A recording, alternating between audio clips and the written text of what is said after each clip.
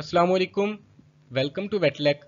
Today I'm going to discuss the anatomy of digits of forepaw of dog. Digits are the last part of manus of dog and there are total five digits in case of dog in, in the forepaw of dog. These digits are named according to their numbering and their numbering starts from the medial aspect towards the lateral aspect. So we have uh, first digit, then second digit, third digit, fourth digit and fifth digit. First digit is present medially and fifth digit is present at the lateral aspect of forepaw of dog. Then each digit further contains three phalanges while in case of first digit there are only two phalanges. This first digit is also known as dew claw and it is the only non-weight bearing uh, digit of dog while the other four digits are weight bearing in case of dog. In some uh, breeds of dog, there are also two dew claws within the same paw. So it varies from breed to breed. Names of the phalanges present in a digit are based upon their location within the digit. Like we have uh, first phalanx which is also known as proximal phalanx as it, as it is present uh, uh, in the proximal aspect then we have middle phalanx or second phalanx and uh, at last we have third phalanx or distal phalanx. So there are three phalanges uh, in the second third fourth and fifth digit. While in case of first digit there are only two phalanges and these are proximal phalanx and distal phalanx. Let's discuss the anatomy of each phalanx one by one. The first phalanx of dog, which is the proximal phalanx, is a four-sided shaft which is slightly curved and it is long, uh, it contains a long body. It has total three parts. One is the base, then uh, comes the body and finally we have head. So uh, there are three parts of first phalanx. Uh, the base of the uh, first phalanx is present proximally and this base contains an articular surface for articulation with the metacarpal bones. While palmarly at the palmar aspect of the uh, first phalanx, there is a deep notch as you can see in the picture. There is a deep notch which is present at the palmar aspect of uh, proximal phalanx or first phalanx. Then after this uh, proximal extremity or proximal aspect, there comes the body of first phalanx which is a long, long body. Then comes the distal aspect of first phalanx which contains a trochlea for articulation with the second phalanx.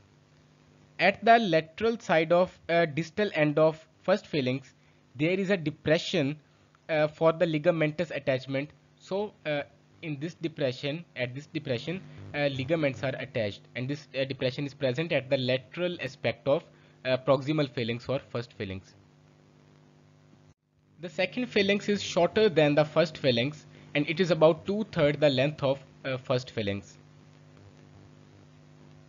Proximally, the second phalanx contains an articular surface which contains two cavities separated by a sagittal ridge, while the distal aspect of second phalanx is comparatively wider than the first phalanx. And between this uh, distal aspect and proximal aspect of second phalanx, there is a short body of uh, second phalanx.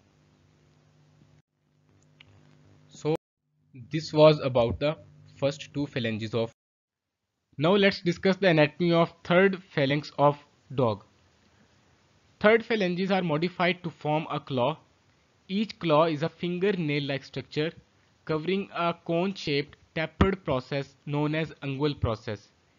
Just proximal to this ungual process, there is ungual crest that overlaps this claw and forms a band of bone around the proximal end of claw.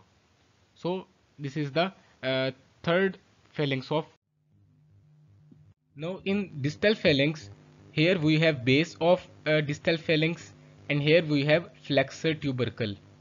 This distal, uh, this base of distal phalanx uh, is present dorsally.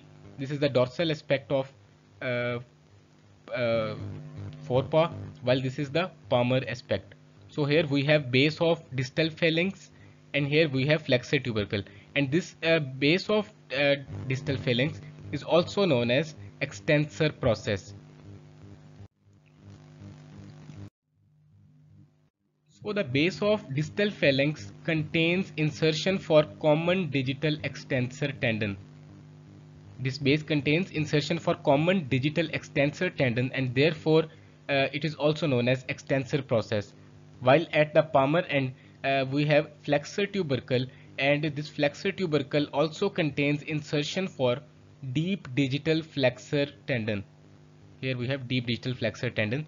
Uh, so here we have uh, insertion for deep digital uh, flexor tendon at the palmar aspect of uh, third phalanx or distal phalanx and therefore uh, this tubercle is known as flexor tubercle as it is uh, providing the site for insertion of digital flexor tendon.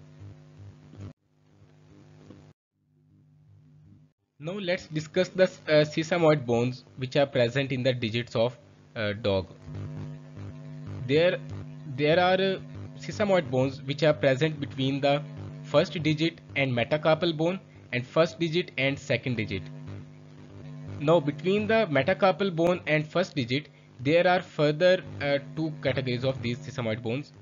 One uh, total nine sesamoid bones are present at the palmar aspect between the first digit and metacarpal bone while four sesamoid bones are present at the dorsal aspect between the metacarpal bone and first digit first phalanx sorry while the sesamoid bones which are present between the first phalanx and second phalanx uh, are present at the distal aspect of first phalanx and these are actually uh, cartilaginous uh, bones so the sesamoid bones which are present between the uh, metacarpal bones and first phalanges at the palmar aspect are total 9 in number. Between the first uh, first phalanx and first metacarpal bone, only one sesamoid bone is present at the palmar aspect, while between the second, third, fourth and fifth uh, phalanx and second, third, fourth and fifth metacarpal bone, two sesamoid bones are present uh, between each uh, each metacarpal bone and each phalanx. So simply two meta uh, two sesamoid bones are present uh, at the metacarpophalangeal joint of the chief uh, chief digits while on the first digit single flattened sesamoid bone is present. These are uh, these are the proximal palmar sesamoid bones. Now let's discuss the uh, proximal dorsal, dorsal sesamoid bones. The proximal dorsal sesamoid bones are also known as nodular sesamoid bones and these are also present between the metacarpophalangeal joint. Between the first metacarpal and first phalanx there is no dorsal uh, proximal dorsal uh, sesamoid bone. So in case of first digit uh, first uh, phalanx we have proximal palmar sesamoid bones and proximal dorsal sesamoid bones which are also known as proximal uh, nodular sesamoid bones while distally we have distal palmar sesamoid bones which are actually uh, cartilaginous in nature so this was all about the uh, digits of forepaw of dog. Thank you